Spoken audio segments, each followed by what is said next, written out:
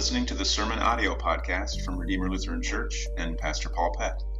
Subscribe to this podcast on your favorite podcast app. The text for our message is just a portion of our long gospel reading. And uh, all I want you to focus on is the question why? What evil has he done? Please pray with me.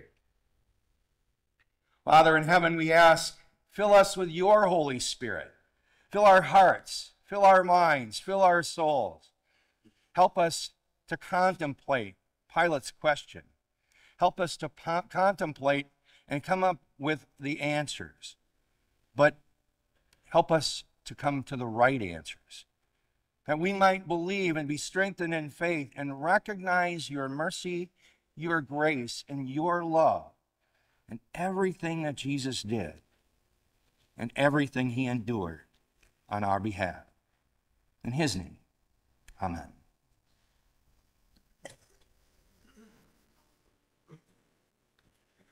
Is this probably one of the first difficult questions you get when you have little children?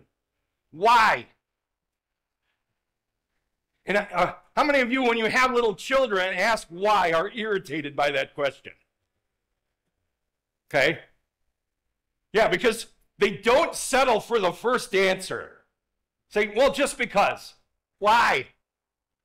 Well, that's just the way it is. Why? And so I want you to really think about what Pilate's asking. Because does he care? I want you to, well, and answer that question. Does he care? Not really. Not really, not at all. But for this reason everything is so politically charged, he's looking over his shoulder, watching his back the whole time. Because if you were to describe Pilate using one word, what would it be? Say that again. Coward. I want to put it slightly different, but on the same thing. Afraid. Would you agree? Because think about what Pilate is facing. How many different voices does he have in his ears? Right? So is he standing there on the judgment seat or standing there on that pavement and this massive crowd behind, uh, in front of him, they're all shouting, they're all screaming, and they're calling for Jesus to be crucified. We hear that. But who else is in his ear? His wife. We're going to come back to that later. Not only is his wife is in his ear, but who else is in his ear? Maybe not immediately, but from a distance. Caesar is also in his ear. So now you've got a crowd. Now you've got his wife. Now you've got Caesar. Anybody else in his ear? Chief priests, ruling council. Anybody else in his ear? Jesus. And as all of these people are in his ear, fear is tearing him to shreds. I want you to look at the picture from this is from Passion of the Christ. So on one side, you have Jesus. On the other side, you have Barabbas. Pilate's been given a choice. Pilate's saying, Which one do you want me to release? Should be easy, right? A guy who's on trial for insurrection and murder versus a guy who's innocent. Should be easy choice, right? But lest we get the idea that this is all being driven by the devil, let's rethink that. Because what I want you to think, what God wants you to think, is the reality behind all this. So, why? Why are the chief priests being so vehement? Why are the chief priests stirring up the crowd? Why are the chief priests wanting to see Jesus die? Why do they want him gone, really? Of? Exactly. Go to the first verse, if you would. Yeah, the first verse I got in there. Thanks. This is shortly after Jesus raised Lazarus from the dead. So the chief priests and the Pharisees gathered the council and said, What are we to do? For this man performs many signs. If we let him go on like this, everyone will believe in him, and the Romans will come and take away both our place and our nation. So, what are they really afraid of?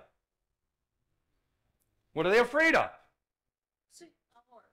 Not losing, not the Romans. They're afraid of losing what? Their power, their influence, their control. They're afraid of losing power, influence, and control. Does this sound at all familiar to you? And if you don't think it sounds familiar, you must not watch any news at all.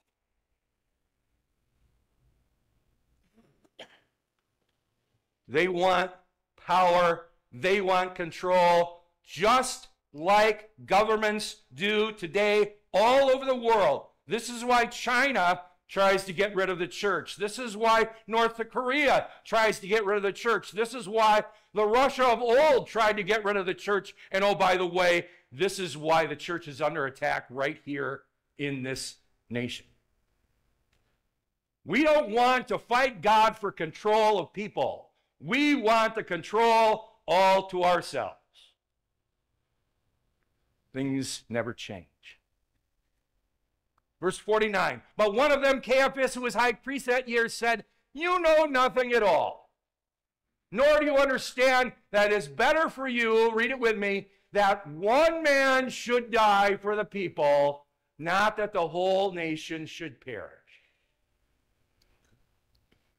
He did not say this as of his own accord, but being high priest that year, he prophesied that Jesus would die for the nation, and not for the nation only, but also to gather into one the children of God who are scattered abroad. So from that day on, they made plans to put him to death. Does that fully answer the question why? Does it?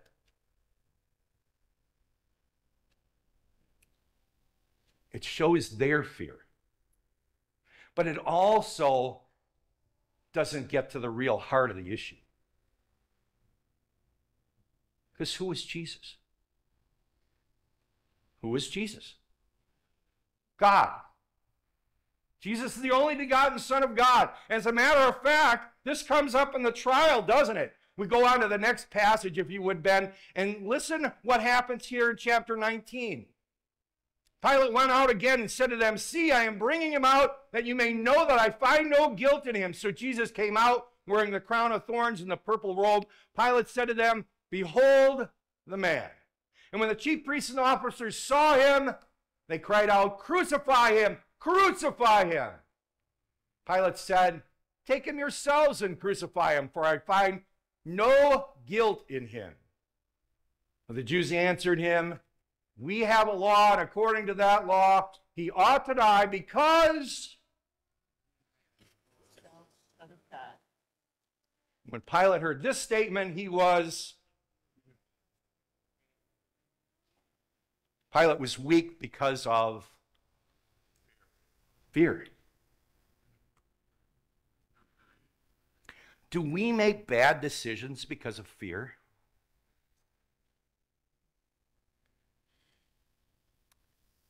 Think, estimate, in the past five years, how many bad decisions did you make because of fear?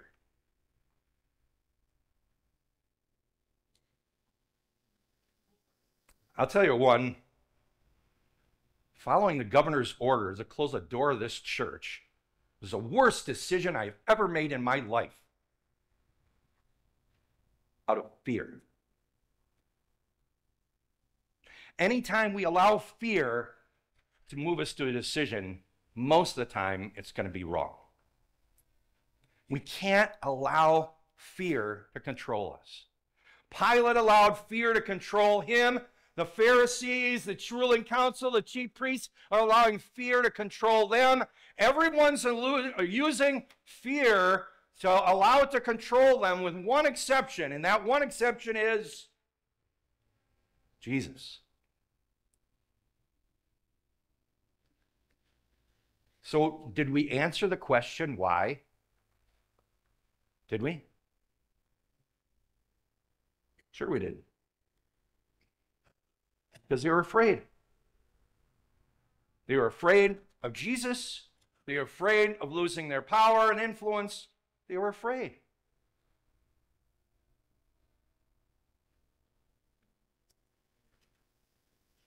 But what about the second question? What evil has he done? Did Pilate recognize what the truth was on that? Go back one slide.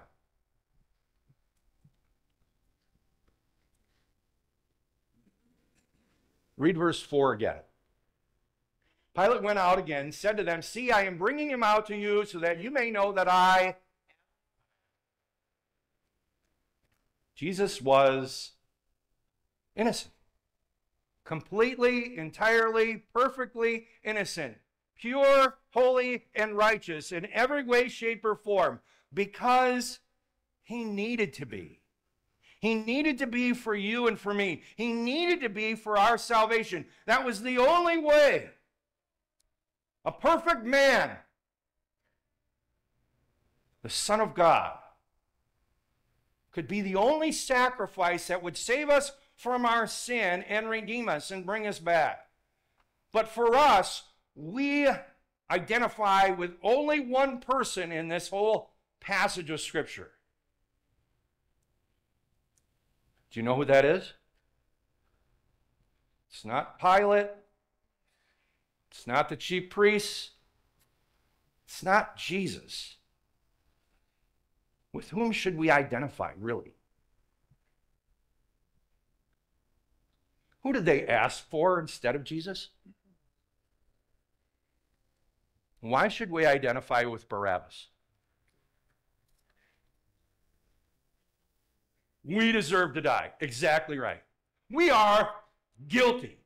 Absolutely, completely guilty. Guilty of sin. Whether it's little sins or big sins, either way, a sin is a sin in God's eyes, and a sin deserves death. And that is the fact for all of us. But who was set free? Barabbas. Who is set free? We are. We are set free because Jesus came here. And it's so important before we start laying blame. So if I were to ask you, whose fault was it that Jesus died? You mean not Pilate's because he was weak and afraid? You mean not the chief priests who called for his death? You mean not all the people who are afraid? Whose fault was it?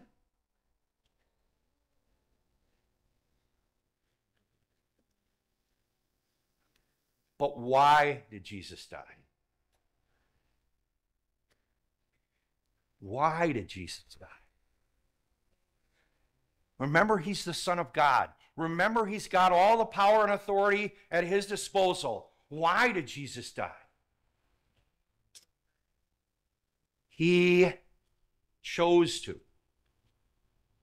And that's what we have to see through this whole part of Scripture. What we have to see is that Jesus, being innocent, chose to die for us. If you were to say, whose fault was it that Jesus died? You can say ours, but really it was Jesus. He chose to. He chose to endure this. He chose to face this. He chose to suffer this. He chose to out of his love. He chose to out of his mercy. He chose to out of grace to bring us forgiveness and to give us life. He chose to do all of that.